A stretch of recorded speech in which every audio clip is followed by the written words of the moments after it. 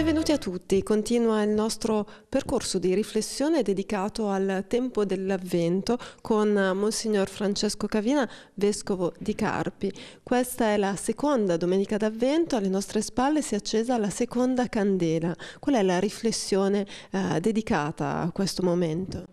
Oggi, eh, in questa domenica, vorrei proporre brevemente la struttura eh, del tempo liturgico dell'Avvento. Una struttura, come accennavo già eh, domenica scorsa, che è divisa, che è fatta di quattro settimane e in queste quattro settimane eh, si trovano sviluppati temi eh, particolari che ci devono aiutare appunto a giungere a vivere santamente il Natale. E allora la prima domenica eh, del tempo di Avvento eh, ci orienta alla parusia finale, cioè ci proietta al ritorno glorioso di Cristo. Cristo ritornerà alla fine dei tempi, non sappiamo quando questo accadrà, eh, ma tornerà per giudicare i vivi e morti e il Signore diventerà il giudice dell'universo, colui che ritorna a riportare la creazione e quindi anche eh, l'umanità nelle mani del Padre.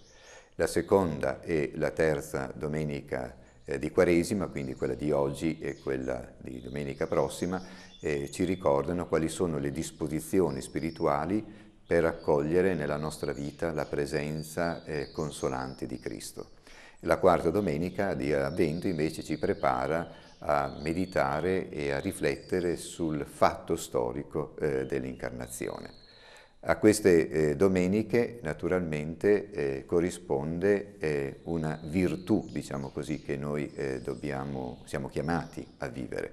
All'attesa del ritorno glorioso di Cristo corrisponde la virtù cristiana della vigilanza. Dobbiamo essere preparati, dobbiamo essere sempre pronti perché il Signore verrà e noi non sappiamo quando alla domenica invece che ci invitano ad accogliere eh, il Signore, ad essere disponibili ad accogliere il Signore nella nostra vita, corrispondono eh, le virtù dell'umiltà, la virtù della pazienza, la virtù della mm, misericordia. In sostanza ci invitano queste domeniche alla conversione del cuore. Il Signore viene, se il Signore viene va accolto con uno spirito rinnovato, con un cuore nuovo e questo cuore nuovo nasce appunto da un atteggiamento di conversione.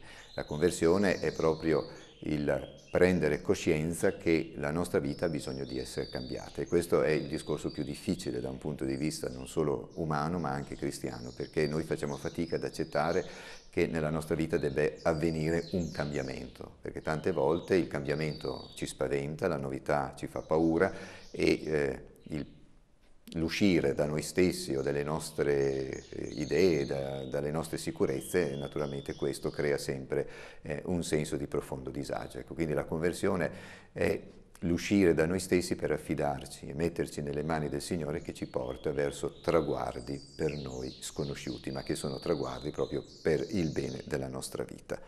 E la quarta domenica, dicevo che è la domenica che ci prepara a contemplare, a riflettere sul fatto storico dell'incarnazione di Cristo è animata dal sentimento della gioia. Ecco, il figlio di Dio, dicevo, duemila anni fa si è fatto uomo per la nostra salvezza e questo non può che suscitare una gioia profonda.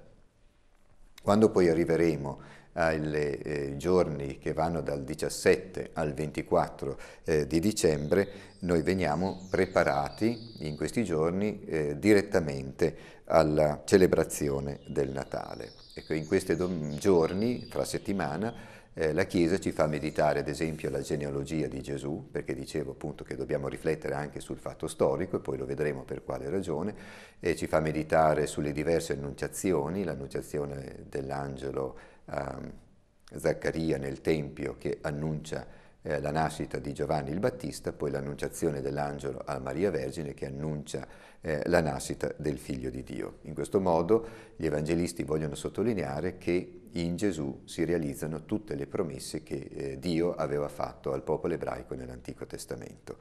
Ecco, ma la domanda che nasce spontanea è per quale motivo vengono letti questi testi storici legati appunto alla nascita del Figlio di Dio? Per una ragione eh, molto chiara ed importantissima per la nostra fede, perché noi, è importante sottolineare la storicità dell'evento dell'incarnazione. Il cristianesimo non è una mitologia, il cristianesimo non è una morale, il cristianesimo non è neanche una filosofia, il cristianesimo è una persona, una persona che è venuta e che ha voluto incontrare l'uomo e che si è fatto incontrare dall'uomo. E questa persona appunto è il figlio di Dio, che ha assunto la povertà della nostra condizione umana perché noi, a causa del peccato, eravamo separati da Dio, eravamo i nemici di Dio per riportarci alla nostra vera dignità, che è la dignità dei figli di Dio. In sostanza per riportarci a quello che era il progetto di Dio all'origine della creazione prima